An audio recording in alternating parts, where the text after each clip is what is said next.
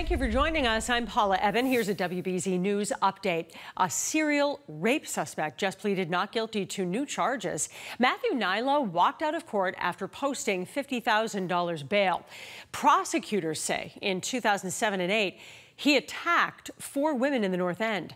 The 35 year old had already been charged with four other sexual assaults in Charlestown during that same time period. Lori Pinkham, who says Nilo attacked her in Charlestown, says it was important for her to be there in court today. Somebody has to be here, you know, to say, hold him accountable. You know, I'm not ashamed of what happened. Nothing, I didn't do anything wrong. He he is disgusting and he is the one that should be ashamed and I'm going to be here and I'll be a voice for any of the victims that don't want to come just so that I can be here and make sure that he is held accountable.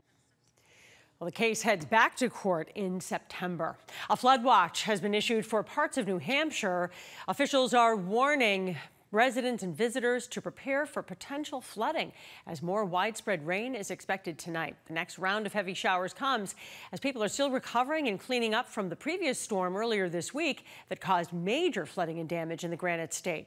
Officials say if you see flooding, get to higher ground, secure your home, and disconnect electrical appliances before the storm. Always avoid driving through floodwaters. Five sea turtles that were rehabilitated by the New England Aquarium after they were stranded last winter during cold stunning season are back walking into warm waters. As you see, the turtles were released off of a Cape Cod beach. Officials say they're in much better health after they were treated for pneumonia, dehydration, low heart rates, and weight loss. And as you can see, all five are tagged with satellites so aquarium staff can monitor their progress. Let's get a check of the forecast as we head into another wet weekend. Here's Zack Green. Not a cloud in sight over Boston and most of southern New England is shaping up with all blue sky as well. So definitely a summer way to go into a Thursday afternoon. And the temperatures are reflecting that, but it's the heat index that's making it feel real, real warm. Right now, 87 degrees in Norwood, and that seems to be the leader in the clubhouse. Still have an additional time before we see the ultimate highs of the day. Most landing between the low and mid 80s, but the exception is going to be the mid Cape out through Martha's Vineyard. Nantucket's included too, and then down into Newport, Rhode Island and pockets of Narragansett Bay. Reason behind it, we get a southerly wind that's coming out of the bottom of the screen, and that's going to allow for a 10 to 15 mile per hour breeze, keeping things just a little bit cooler. But the humidity is still sky high, so if you're thinking about heading towards the beaches at some point during the afternoon, sunblock clearly necessary.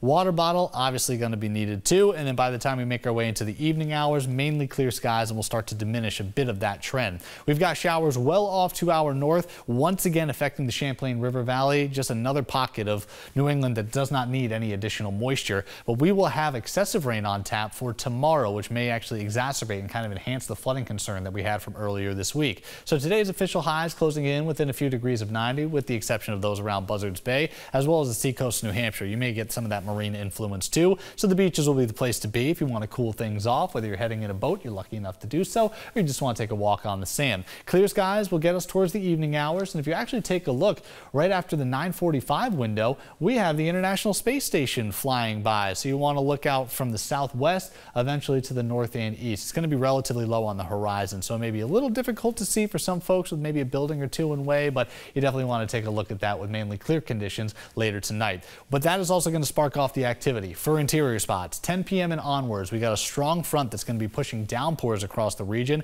in a west to east fashion. A lot of that wants to diminish as it goes east of 495, but it's still going to be waking us up in the middle of the night with not only rumbles, maybe a clap of thunder. We've got a chance of some steady rain as we wake up tomorrow morning, and there's a few more batches right around midday. I think that there is still going to be a lull or at least a break for a portion of the lunchtime hour, and by the time we move into the afternoon, we'll just kind of have this ride of energy moving right across the area. So we'll still hold on to some of the light activity for the end of Friday, and then another bubble up chance for more isolated cases as we move into the upcoming weekend.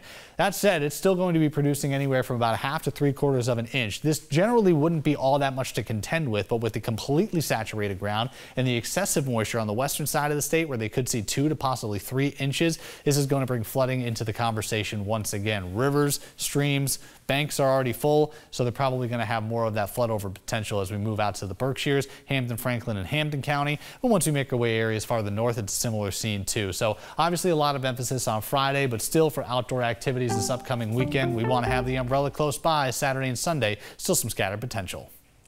I'm Paula Ebben. This has been a WBZ News Update.